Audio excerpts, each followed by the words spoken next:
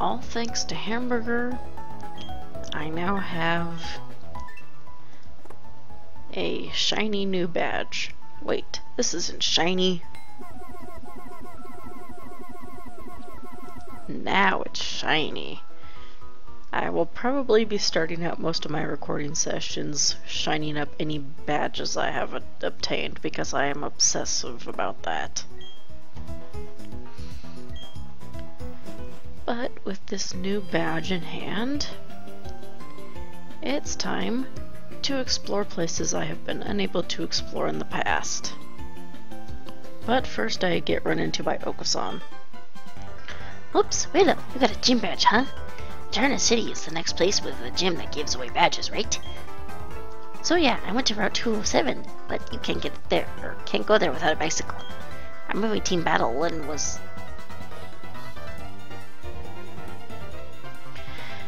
okay, really errors, go away. I made a Team Battle and toughened them up, so it wasn't a waste. So, I went back to Jubilife City. Next up, the Eternals, er, Eterna Gym Badge. Taking 10 seconds before I dash. 9. Bah! Who's got time to count? So there we go. In case we didn't know where to go from there. But I do know. I can now use Rock Smash! Get through here.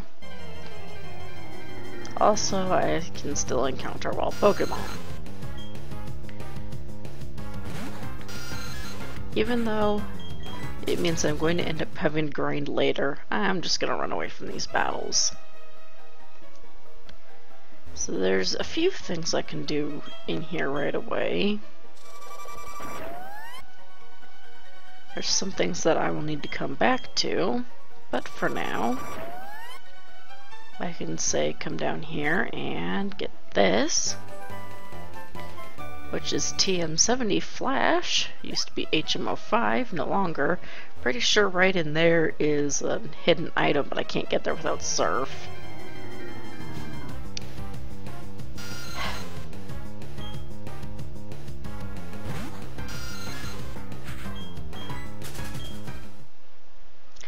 And now that that's out of the way, there's a bunch of breakable rocks. Now this game's just taunting me. No, leave me alone.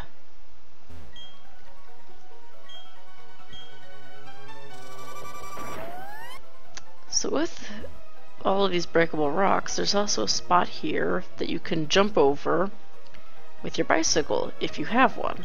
I do not.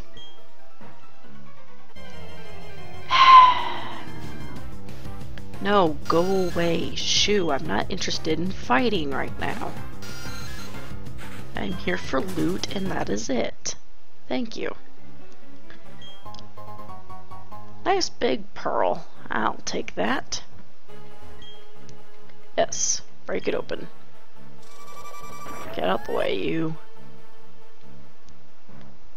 Just like that. And I don't think you need to watch me go all the way back to Jubilife City, so I shall meet you there. As soon as you enter town. Looker, tell me, have you not obtained a Pal Pad? It's not a Pal Pad free to anyone visiting the Pokemon Center's basement? I haven't been to the Pokemon Center's basement yet. Anyway, there appears to be no one shady in this Jubilife City. I shall therefore take my investigation elsewhere. But, my friend, I suggest you remain vigilant and for shit like you? You're a pretty shady grown up yourself, dude. Anyway, he said something about the basement of the Pokemon Center. So let's go there. Alright, this way please. Glad to meet you, Tila? Guide to Pokemon Wi-Fi Club, something I will never be using. But I get a free key item, so why the hell not? Yep, yep, yep. I got it. Thanks, lady. I now have the thing. And my Pokemon did not get hurt on my way here. Also, I remembered I had not yet come this way when I was exploring town. The global terminal, terminal lets you travel the whole world. Connect with new friends, blah blah blah. I don't think you can even come in here without a single gym badge, so I'm gonna kind of look around and talk to people, see if there's anything useful in here. There was no one in there worth talking to. How about this kid?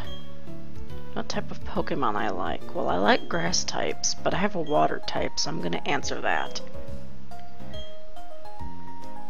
Um, thanks? That was completely useless to me. Um, is there really nothing back here? Seems like a perfect spot for there to be like a hidden item or something. Okay, whatever. So yeah, you can trade Pokemon around the world through that thing. I am on an emulator, so that's pretty freaking useless to me.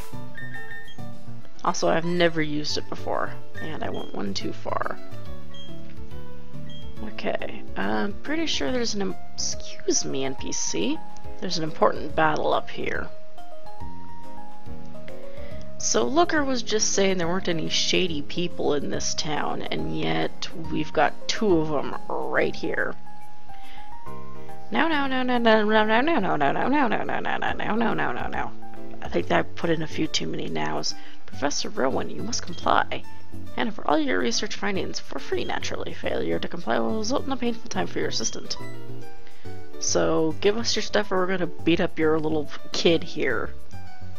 How's the Pokedex progressing? Oh yeah, and you have a gym badge. But hadn't I given you your first Pokemon only recently? Yeah, about that. It's already evolved. Perhaps being a trainer is like second nature to you. I've been at this for quite a few years, dude. And now they're getting angry that they're being ignored. Quiet, you lot. Why must you be such a nuisance? I have some lessons you still need to learn. 1. Don't loiter about for no good reason. 2. Don't interrupt others while they are attempting to converse. 3. If you don't get your way, don't raise your voice to be intimidating. 4. Don't think you've grown strong just because you're an herb. 5. What is with those outlandish outfits you have? You tell 'em, old man. call yourselves adults. You kids don't grow up to be like these sorry specimens. Uh-oh. And now they're angry. Team Galactic is what they call themselves. Give these thugs a lesson in civility, please. Hey, hey, Willow, I'm gonna be useful to you. And so just like that, we get to have a nice double battle with Lucas. So the enemy likes using dark type Pokemon, namely Glameow, which is purely dark, and Stunky, which is a dark poison type. Right now, and like this, they aren't too bad.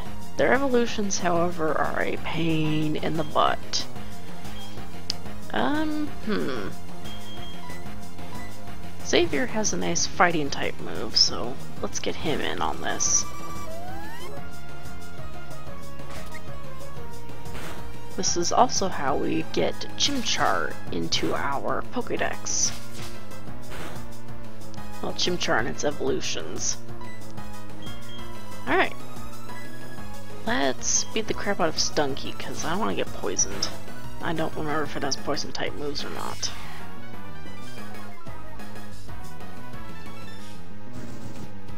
Ah, good. He's attacking Stunky too. Smash the crap out of it!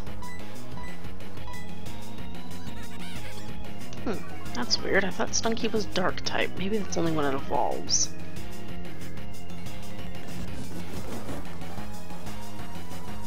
Yeah, yeah, yeah. Just die already, little Stunky. There we go. Next. Oh, first a level up, I suppose. Cool, cool. Let's get rid of Glameow now. Would you stop attacking me? Attack the Chimchar. Chimchar is not in a life or death battling challenge thing. Well, anyway, Glameow is now dead. And we've defeated both Galactic Grunts. Two of them lost to a pair of children, and now they must retreat. Leave us no option, we'll retreat for now. Blah blah blah, Team Galactic, we are awesome. Call themselves Team Galactic, so I noticed. When Pokemon evolve, they seem to release some type of energy. However, I believe that it's a mystic power far beyond our control. I don't know.